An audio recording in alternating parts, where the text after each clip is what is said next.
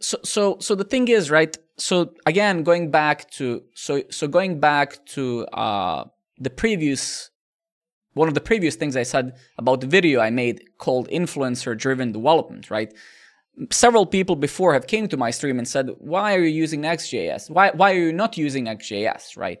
Why are you using plain react right?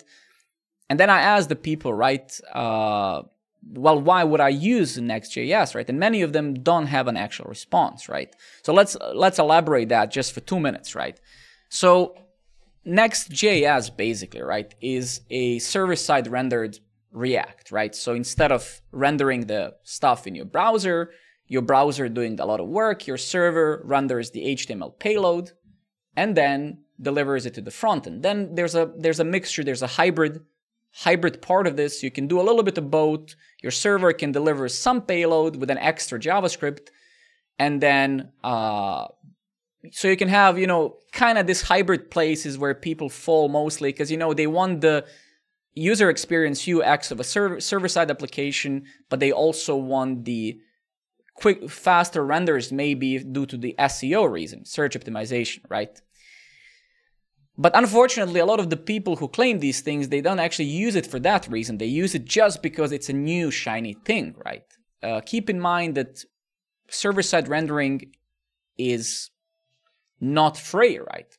If your server has to not just talk to your services, but also render HTML, which is actually quite extensive, scaling these things is also becomes harder and your server bill becomes more expensive. You couple your front end and back end, and we go back in time 20, 30 years. I mean, WordPress and Joomla and E107 and a bunch of these things have been server side rendering. PHP has been server side rendering pages for decades. So did Visual Basic, uh, C Sharp, and stuff like that. So, so server side rendering or Next.js is nothing new. That's how internet initially worked, right?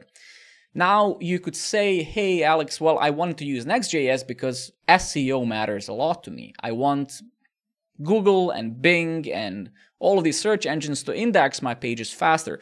And to some degree, that's true, right? It does help. Modern search engines can also index your Ajax-led sites like server, like a single, like single-page apps, like React and Angular and stuff. Anyway, so if you really need to absolutely squeeze in these um, SEO things, then absolutely go for uh, go for Next.js. Now, of course, there's a lot of negatives, which is why I don't use it. All of these tools do a lot of magic, right? Next.js basically is a mixture of Next.js is a mixture of super intelligent hacks that people made you know made work right but it doesn't come with a with a with a, with a without a cost it comes with a huge cost again for your, server cost. It's this bundled thing that now some libraries work, some libraries don't work. I personally hate file-based routing. Some people are talking about the uh, uh, file-based routing as a, as a feature. It's like it's not a bug. It's a I think it's terrible idea. Mapping your file locations to your route is terrible. It doesn't help. It couples certain things which shouldn't matter at all what I'm delivering on slash X should be in no way coupled where my file is. That's completely idiotic idea in my opinion. So I hate it. I always hated it. I hated it from the FTP times, file transfer protocol times when we would drag our stuff, right? So so but in simple words, if you're learning React, just learn React.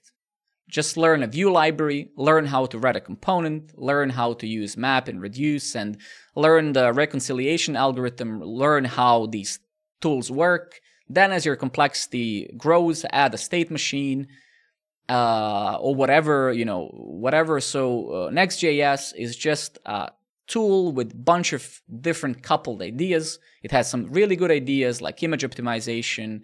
It has a lot of great things, don't take me wrong. I'm not saying it's bad. It's just in many cases when you talk to people, they can't exactly tell you why they're using. They're just coming up and saying, why are you not using it? But then when I reverse that question and say, why are you using it over such a simple thing as React, they don't have a response, right? Usually it's a SEO response, but um, that also doesn't drink much water under quotes, right? So So if you want to learn React, start with React. Maybe one day you might need an Next.js or some server-side rendering. Maybe not, right? But I'm sure that at this point, uh, you don't need it. So yeah, that's my response.